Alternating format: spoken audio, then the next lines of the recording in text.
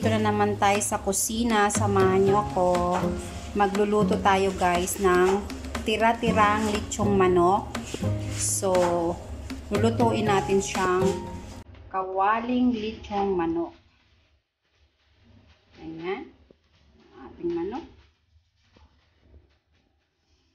Ito yung ating sibuyas at ang ating iniling na garlic at luya, sili, tapos may ano tayo, sibuyas Tapos, ayan, yung ating suka, yung soy sauce natin. Ito, meron tayong oyster sauce, and then meron tayong cola, at meron tayong Himalayan salt ang ating gamit. Malasa. So, ayan na guys.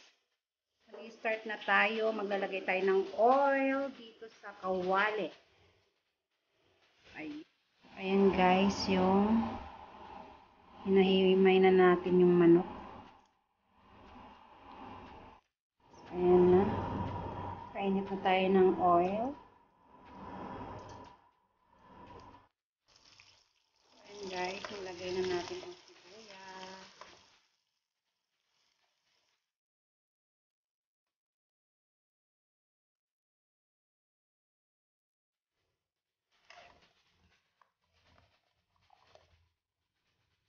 Ilagay na natin ang bawang.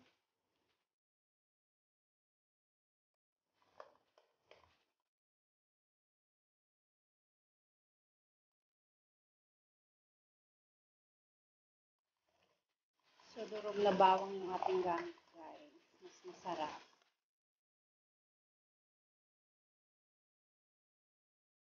Then, ilagay natin ang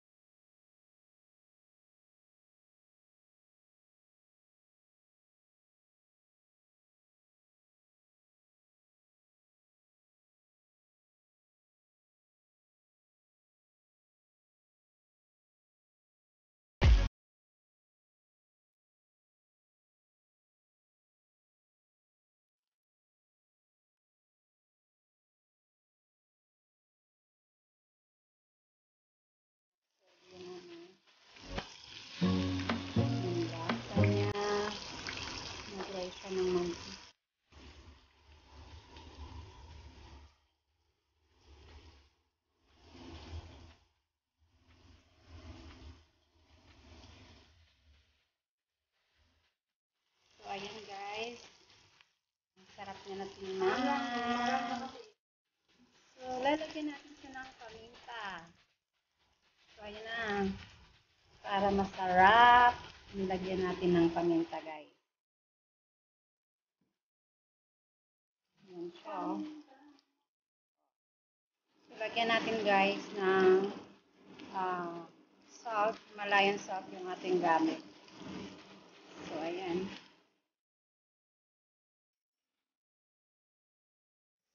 Natin guys ay ang ating soy sauce.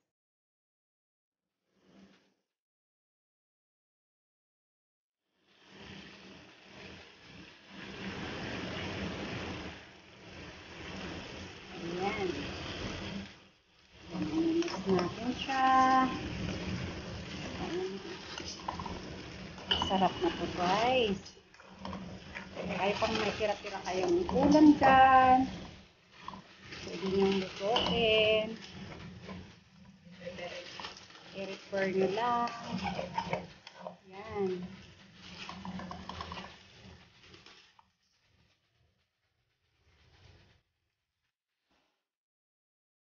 So next natin guys ay ang ating cola. Ayan. Okay na. Okay na. Ayan. Kita nyo guys, masarap yan. Pwede nyo i-try. Para malaman nyo kung masarap talaga. So, ganyan na siya guys.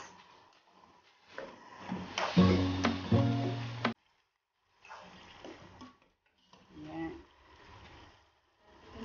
Sarap na nito guys.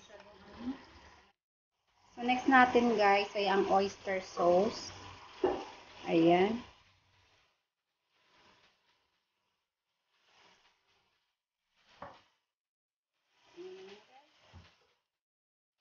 Oh, sarap.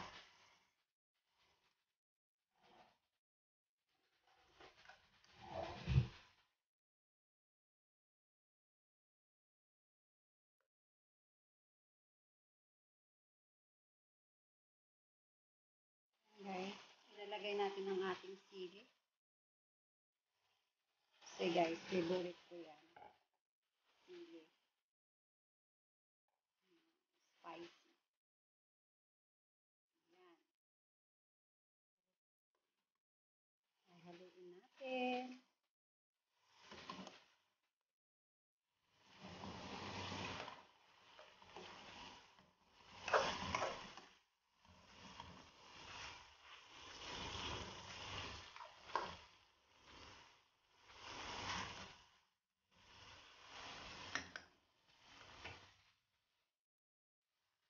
Sarap na naman guys. Try nyo kayong gawin. So, ayan guys. Maglalagay tayo ng suka or vinegar.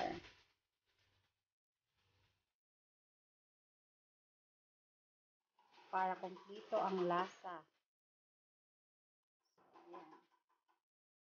Ah, sarap na.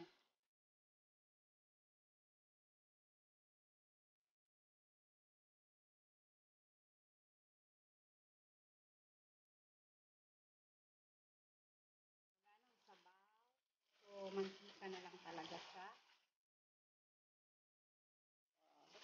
To. Yummy! Kita nyo guys, kung ano nangyari sa lechon. Lechon kawali na. Sarap!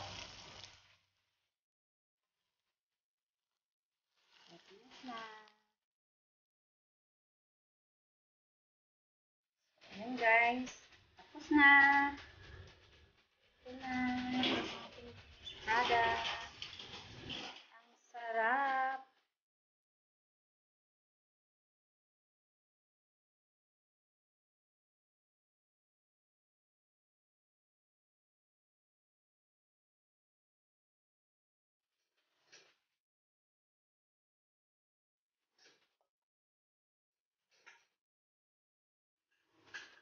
So, ayan guys, wala siyang sabaw. So, mantika lang.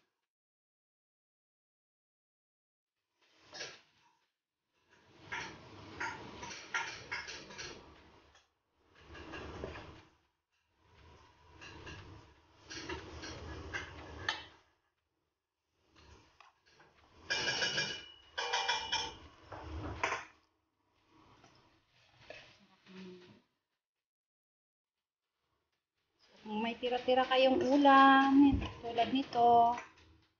Lutuin nyo guys. Ang sarap.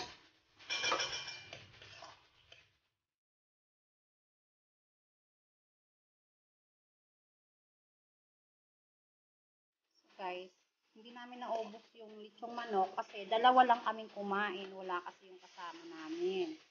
So, kaya ito, ayan na, ni-repair na. Sarap na.